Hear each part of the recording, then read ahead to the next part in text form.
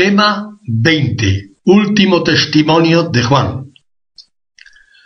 Después de esto, mis discípulos y yo nos fuimos a la región de Judea, y allí morábamos y bautizábamos.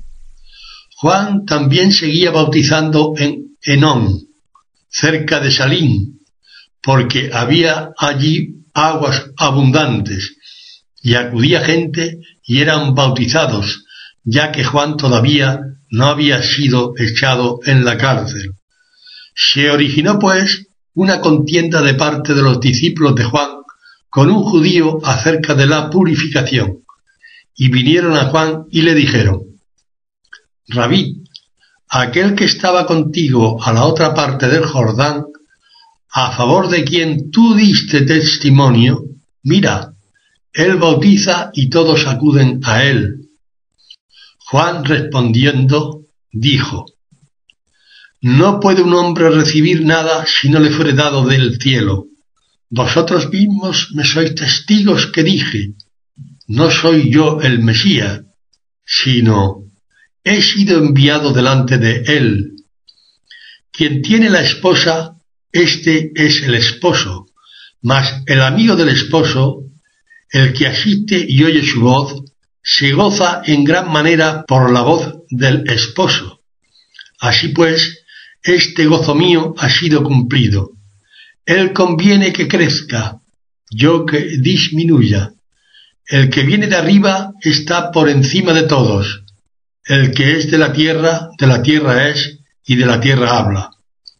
El que viene del cielo está por encima de todos. Lo que ha visto y oído, esto testifica, y su testimonio nadie lo acepta. El que acepta su testimonio pone un sello a la veracidad de Dios, porque aquel a quien Dios envió habla las palabras de Dios, porque no con medida da el Espíritu.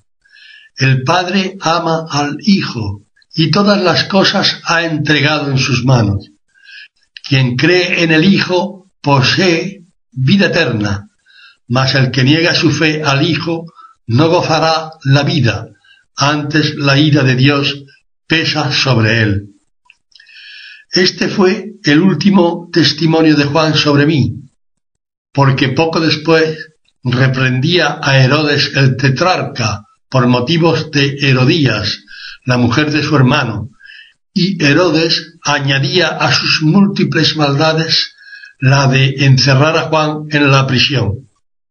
Así pues, enterado de que a oídos de los fariseos llegaban las noticias tales como Jesús hace más discípulos que Juan y bautiza, decidí abandonar la Judea e impulsado por la fuerza del Espíritu, volví a Galilea.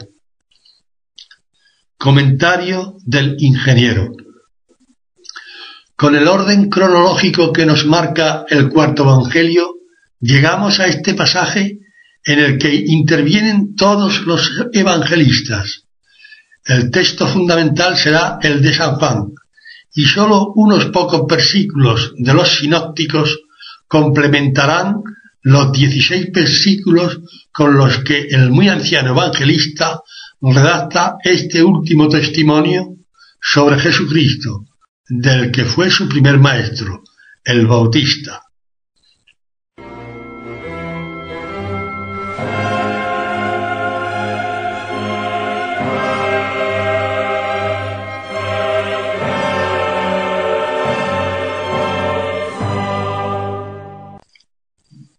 Observe esta frase que acaba de leer.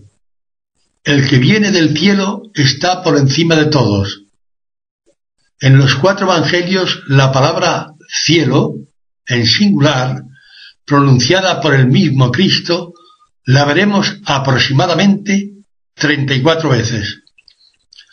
Dos de estas veces las emplea Jesús para asegurar que de allí, precisamente, del cielo, ha bajado a esta tierra. Pregunta. ¿Podría decirme en qué ocasión aseguró Jesús que había bajado del cielo? A. En el camino hacia Caná, cuando se encuentra con Natanael. B. En el discurso eucarístico que proclama en la sinagoga de Cafarnaúm. C. Cuando anuncia las señales precursoras del fin del mundo.